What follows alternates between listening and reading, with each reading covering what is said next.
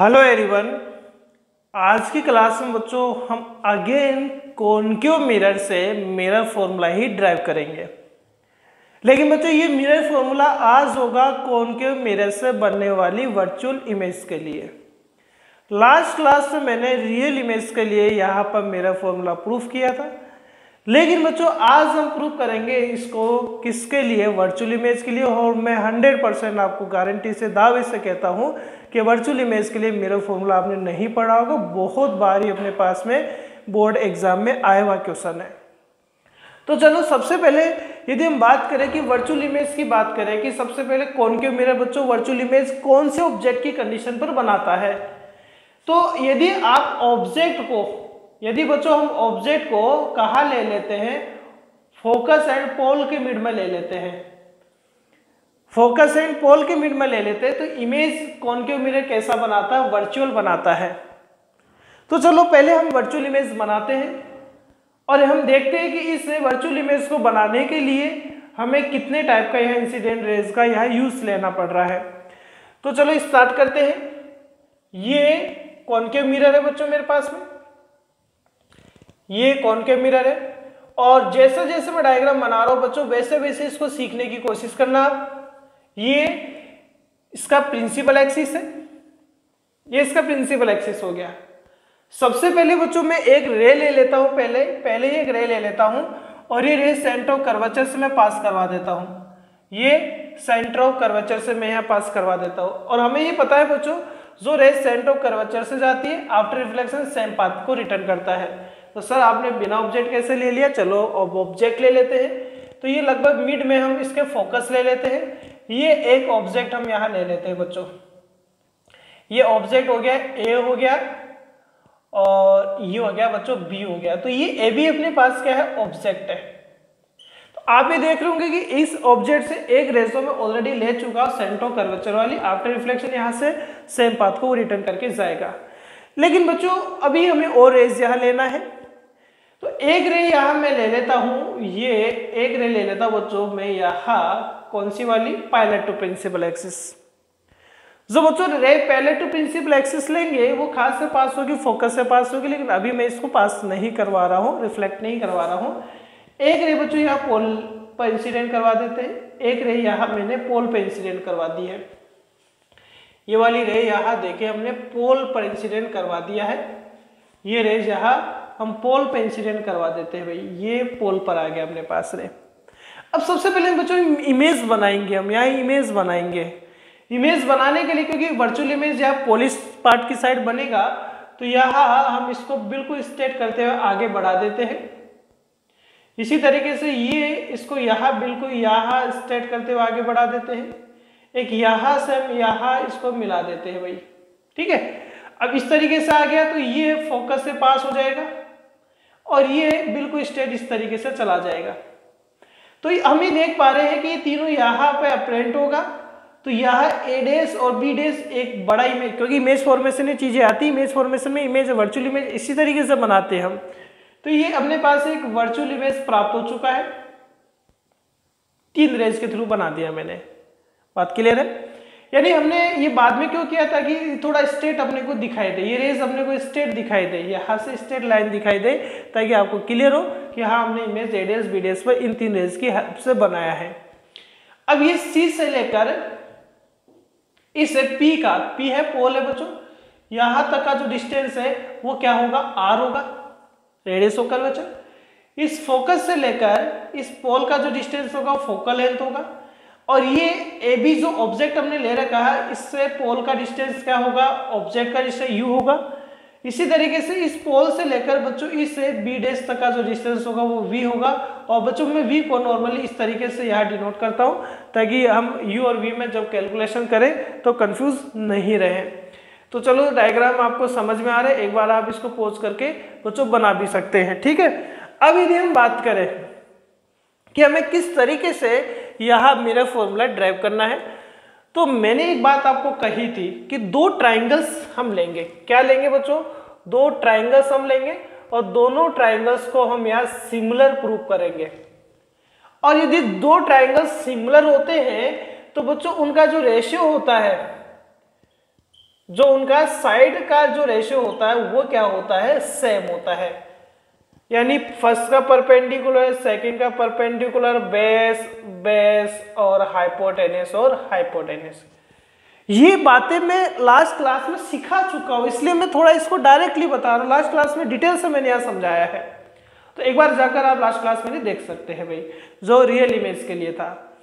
तो यहाँ सबसे पहले हमें ट्राइंगल सेलेक्ट करने हैं यहाँ।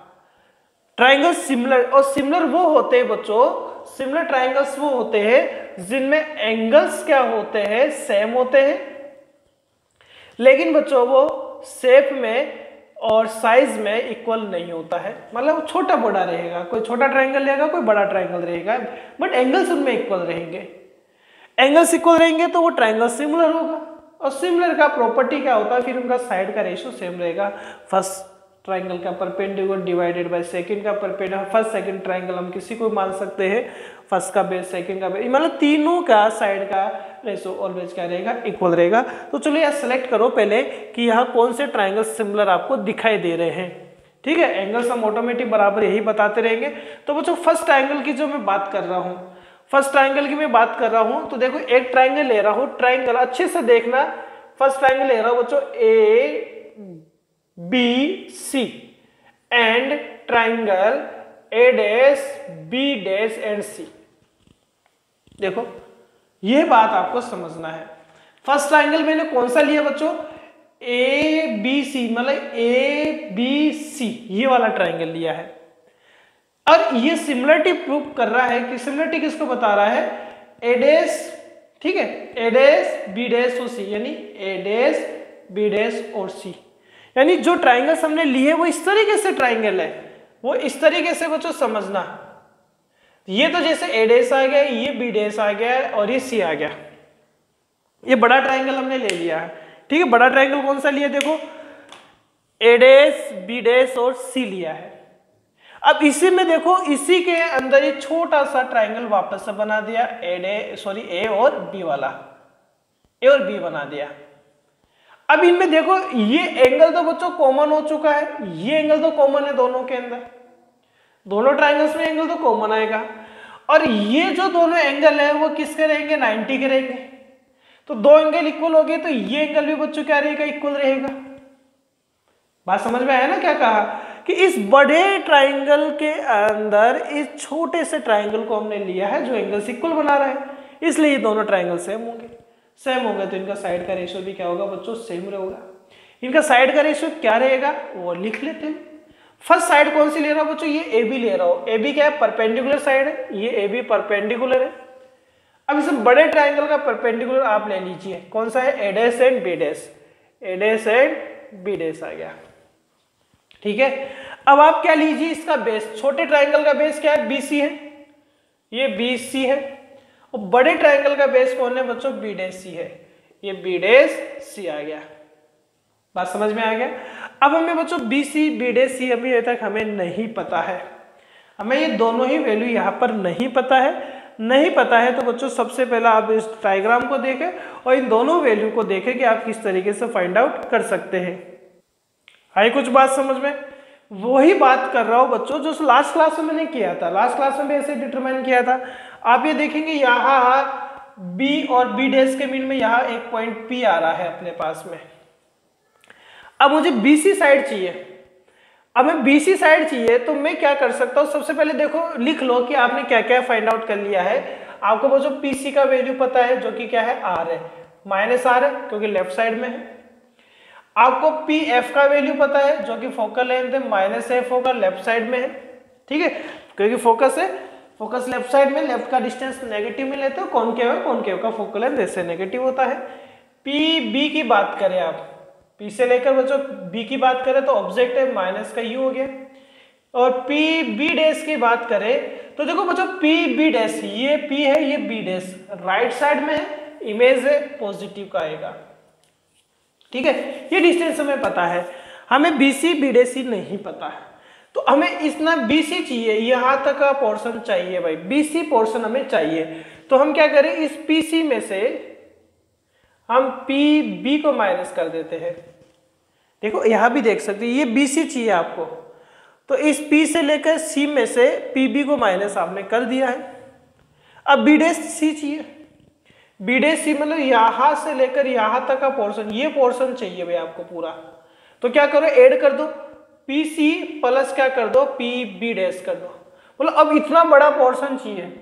तो इतने बड़े पोर्शन के लिए आप पी सी और पी बी डेस को क्या कर दीजिए? ऐड कर दीजिए। हो गया ना ऐड अपने पास में? चलो, अब इनका वैल्यू रख दो। अब इस डायग्राम का बच्चों यूज़ नहीं है तो मैं इसको यहाँ से साफ़ कर देता हूँ। तो यहाँ वैल्यूज़ आप पुट करें, ये क्या था? पी बी डैश था। ये पी सी और ये पी बी डैश तो ये बी डैश सी आ गया, ठीक है। पी सी कितना है बच्चों? पी सी है माइनस आर हालाँकि हमें आर में रिलेशन नहीं चाहिए, हम इसको फोकल एन में कन्वर्ट कर सकते यहीं पर कन्वर्ट कर लेंगे चाहे हम P B dash P B P B कितना है? माइनस यू है। ये माइनस यू आ गया। पीसी अगेन पीसी पीसी क्या है बच्चों? माइनस आर है अपने पास में। प्लस पी बी डैश और पी बी डैश क्या है बच्चों? वी अपने पास है। इसको सोल्व करेंगे तो A B divided by A dash B dash क्या आएगा? देखो बच्चों, ये माइनस माइनस प्लस हो गया। और ये प्लस का क्या हो गया? यू हो गया। माइनस आर माइनस आर को बच्चों हम टू एफ़ लिख सकते हैं। रेडियस जो होता है फोकल लेंथ का जस्ट डबल होता है। और ये वी प्लस का है। और ये माइनस का तो ये माइनस का टू एफ़ हो गया। हम इसको इक्वेशन नंबर फ़र्स्ट लिख देते हैं। आप फटाफट चाहे तो बच्चों इसको नोट कर लीजिए, क्योंकि मैं इस इक्वेशन को साइड में लिखने वाला हूँ। तो यहाँ फ़र्स्ट इक्वेशन अपने पास आया है। A B A dash B dash equals to आया है यू माइनस टू एफ़ और वी माइनस का टू एफ़ ये अपने पास इक्वेशन आए। फटाफट से आप कुछ सेकंड में पोज कर देता हूँ मैं और आप नोट कर लीजिए। अब देखिए बच्चों, अब दूसरे ट्राइंगल्स की हम बात करते हैं। दो ट्राइंगल सिमिलर प्रूव कर दिए और दो ट्राइंगल्स हम यहाँ ढूंढते हैं जो सिमिलर हो सकते हैं। फिर हमें वही साइड का रेशियो यहाँ देख लेना है। ये इक्वेशन नंबर क्या था? फ़र्स्ट अपने पास था।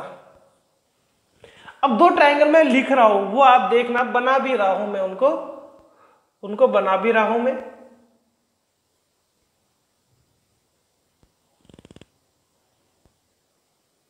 देखिए अब, ये बी है, ये ए है, ये पी है, ये ए डेस है और ये बच्चों बी डेस है। दो ट्राइंगल बना दिए मैंने कौन कौन से बनाए? देखे आप ट्राइंगल बनाए कौन से बच्चों? ये ये ये और ये फ़र्स्ट ट्राइंगल तो ये अपने पास है। कौन सा? ए बी और P A B P second कौन सा बनाया? बच्चों पी एडेस बी डेस मतलब ये पी एडेस बी डेस ये वाला बनाया है। ये ट्राइंगल बनाया है आपने। बात समझ में आ गया दो ट्राइंगल्स यहाँ हमने बना दी है भाई। वापस से देख सकते हैं। A P B A dash P B dash मतलब ये दो ट्राइंगल्स यानी ये वाले ट्राइंगल ये और ये ट्राइंगल हमने बनाए हैं यहाँ पर। अब इन ट्राइंगल में एंगल्स देखें तो बच्चों ये एंगल तो दोनों दोनों 90 डिग्री है। ये दोनों तो 90 डिग्री है। ये एंगल थीटा है, क्योंकि पोल वाला है ना, ये थीटा है तो बच्चों ये भी एंगल थीटा रहेगा, ये भी थीटा ये थीटा रहेगा तो ये भी बच्चों कितना रहेगा थीटा तो आप ही देखेंगे, ये दोनों एंगल भी इक्वल है। ये भी 90 है तो ये एंगल भी इक्वल रहेगा। ये दोनों जो ट्राइंगल है कौन कौन से ट्राइंगल नेम लिख रहा हो बच्चों। ए पी और बी और कौन सा बच्चों? ए डेस पी और बी डेस ये दोनों ट्राइंगल कैसे रहेंगे? अब सिमिलर रहेंगे। ये डिस्टेंस तो क्या है बच्चों? U है और ये डिस्टेंस क्या है? इसका v है। ठीक है, ये u माइनस का, v यहाँ प्लस का रहेगा। बच्चों बताओ बात समझ में आ रही, नहीं आ रही? अब हमें साइड का रेशो देखना है। फ़र्स्ट साइड इसमें ए बी ले लेता हूँ।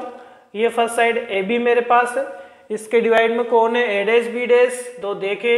वहाँ पर भी ratio A B upon A dash B dash का ही था तो वही रेशियो आ रहा है। डिवाइड इसका बेस क्या है बच्चों? पी बी है। इसका बेस क्या है? पी बी डेस है। तो पी बी क्या है? पी बी क्या है? देखो, लिखा है हमने। माइनस यू है। माइनस यू है। P B dash P B dash plus का वी इमेज इक्वेशन नंबर ही कितना आ गया? सेकंड आ गया। और इक्वेशन फ़र्स्ट और सेकंड दोनों इक्वल है, हम इक्वल कर सकते हैं। ठीक है, आप नोट कर लीजिए। नोट करेंगे। ओके चलो मैं साफ़ करता हूँ इसको। तो ये दोनों इक्वेशन मेरे पास बना है और इन इक्वेशन को यहाँ हम सोल्व करते हैं from equation first and second ठीक है तो यहाँ from equation first and second. Solve करेंगे तो बच्चों ये जो रेशियो है वो किसके इक्वल आ रहा है? ये आ रहा है u माइनस टू एफ़ और v माइनस टू एफ़ के ही इक्वल आ रहा है अपने पास में। आ, समझ में आ रहा है? अब ये यहाँ से क्रॉस मल्टीप्लाई आप कर दीजिए तो ये माइनस का u ठीक है? अब मैं इसको एक बार लिख देता हूँ अच्छे से लिख देता हूँ। तो ये तो होता है अपने पास बच्चों u माइनस टू एफ़ और ये v माइनस टू एफ़ ये माइनस यू डिवाइडेड बाई क्या है? V है. ठीक है?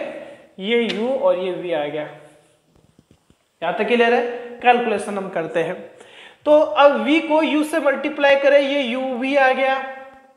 V को माइनस टू एफ़ से करेंगे माइनस टू एफ़ वी आ गया इक्वल u को v से करेंगे तो माइनस यू वी आ गया बच्चों. और ये माइनस माइनस ये प्लस का क्या आ गया? टू एफ़ यू आ गया। माइनस माइनस प्लस का क्या हो गया अपने पास? टू एफ़ यू यहाँ पर आ चुका है। तो बच्चों, ये यू बी और ये यू बी, ये दोनों किसके हैं बच्चों अपने पास? माइनस के हैं। अब यदि हम इनको सोल्व करते हैं और सोल्व करने के बाद में हमें तो वैसे ही कैलकुलेशन अपने पास आएगा। तो देखिए बच्चों, ये यू भी है, ये भी यू भी है। इस साइड आएगा तो टू यू भी हो जाएगा माइनस माइनस प्लस इधर आएगा तो प्लस का हो जाएगा। ये उधर जाएगा तो ये प्लस का हो गया टू एफ़ वी। ये ऑलरेडी क्या है बच्चों? टू एफ़ यू अपने पास है। तो आप भी देखेंगे टू से टू तो यहाँ कैंसिल आउट हो सकता है। ये यू वी आ गया, ये माइनस का एफ़ वी आ गया, ये माइनस का एफ़ यू आ गया इक्वल्स टू ज़ीरो आ गया। अब हम इसमें डिवाइड कर रहे हैं बच्चों। Dividing by U V F U into V into F से हम इसको डिवाइड कर देते हैं। हम जैसे डिवाइड करेंगे तो चलो यहाँ से रिज़ल्ट क्या आने वाला है, लिखते हैं हम। देखो यू वी में भी डिवाइड होगा यू वी एफ़ का। वही पोर्शन है, वैसे मल्टीप्लाई मतलब वैसे ही हमने यहाँ ट्राइंगल सिमिलर प्रूव करके किया है। लास्ट में वही कैलकुलेशन यू वी एफ़ का डिवाइडिंग पोर्शन करना है। तो minus F V divided by U V F minus F U divided by U V F equals to zero तो ये तो बच्चों वन अपॉन एफ़ रहा, ये वन अपॉन यू रहा, ये वन अपॉन वी रहा इक्वल्स टू ज़ीरो ये दोनों पोर्शन उधर गए तो ये आ गया बच्चों one upon V plus one upon U तो देखो ये आज हमने यहाँ वर्चुअल इमेज के लिए भी मेरा फॉर्मूला प्रूफ कर दिया है। बहुत इंपॉर्टेंट है मेरा हंड्रेड परसेंट दावा बच्चों आपने आज तक इसको नहीं पढ़ा होगा। ठीक है? Thank you